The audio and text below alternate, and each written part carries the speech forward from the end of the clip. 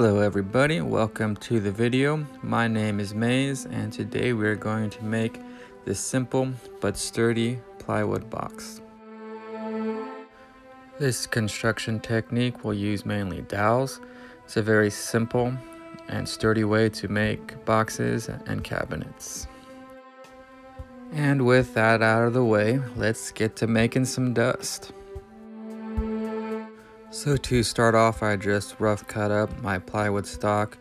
I'm cutting a rough height here, what's going to be the height of the box. And then I cut a rough width of each box. Out of this piece, I'll get my two sides, my front, my back, and my bottom.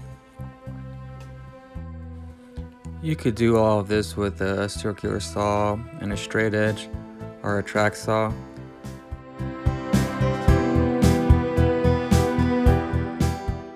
Then from the leftover piece, I'll cut out the top.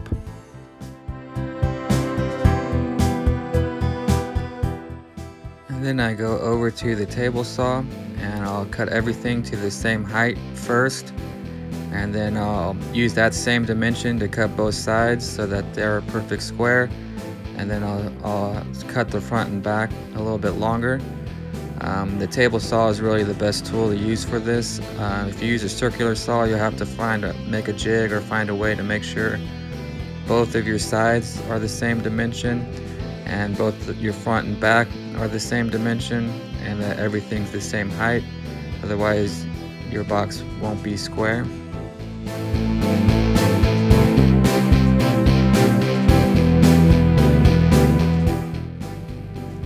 Here's the, the trick to this uh, technique is I'm going to glue and screw everything up at first. This gives me a chance to focus in on each corner and glue each corner together one at a time to make sure everything's flush and lines up without having to mess with a bunch of clamps. These I'm going to replace these screws and these screws are essentially acting as clamps. And if you've ever tried to glue a box together, it's real hard to kind of balance everything in and get it all locked in. This allows me to just focus on one corner at a time and glue everything up, let the glue set with the screws in it, and then just replace the screws with dowels. So you could see me doing that here. I'm just taking out the screws and then drilling a bigger hole where the screw was and putting a dowel in. You can also see how one of my edges has the dowels and then the other edge has the exposed plywood. And so I'm going to be painting this, so none of that matters. But if I weren't painting it, I'd want to try to keep it so that one side had all dowels on both edges and then the other parts had the plywood edge. So the front and back would have the dowels and the sides would have the plywood edges or vice versa, depending on your preference. So you heard the old adage of measure twice and cut once. I find when I'm doing fine woodworking work like this, it's more likely that I won't measure at all and I'll just cut a bunch of times and so what I'm doing is I'm setting the, the bottom into where I need it to go and cutting it bigger than I need at first and then just feathering it down cut by cut you know a third of a saw blade length sometimes even less than that until it, it just fits. And I have no idea what the final measurement is it just I know it fits. Um, you know when you're using a pencil the pencil has a width to it uh, tape measures could be slightly off um, you know, the lines on a ruler aren't perfectly small, so you could be off by just that much if you're relying on, on measurements. Here I'm relying on the piece and I'm just feathering it down smaller and smaller until it fits perfectly. And here you can see it's almost there and then I just barely anything and then I get it to fit perfectly tight. So you could, here I'm just marking out where I'm going to put the dowels. There's no good way to put glue into that joint because it's it's so tight. It holds itself in without anything, but it's the bottom of the box, so there's going to be weight on it. So I'm reinforcing it with dowels and the dowels are what's going to hold it in. But because it's the bottom, I'm using thicker dowels than I did on the sides. I used 5 16 inch dowels on the side and here I'm using 3 8 inch dowels.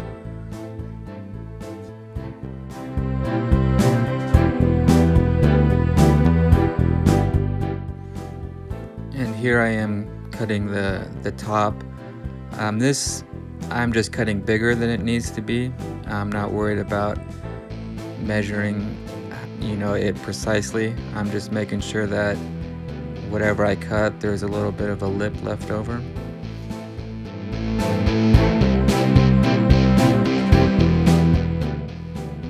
Then just glue the top on. Uh, make sure there's a little bit of overhang on each side. You don't have to worry about it being even or or it being straight as long as there's a little bit of overhang on all four sides you just clamp it down or you could put some weights on it and then give that a good hour to dry or overnight if you can I'm not sure if I made it clear but you want to flush trim all the dowels down also and then you just take a router and a flush cut bit and just trim up the top so that it's perfectly flush with the sides of the box. And here I am just drilling holes in the top and reinforcing it with some more dowels. Now, as I said earlier, this is paint grade. I'm going to be painting over all of this. So I'm not really worried, I just kind of eyeballed the placement of the dowels. But throughout the whole thing, you want to be, if you're not going to be painting it, you want to be spacing them out and measuring them so that they look good. Then you let that dry for a little while and then you trim those up flush.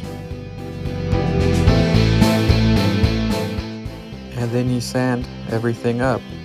Uh, this is your chance to flush up all of your dowels and to get rid of any glue squeeze out and get rid of any pencil marks uh, just make everything nice and smooth.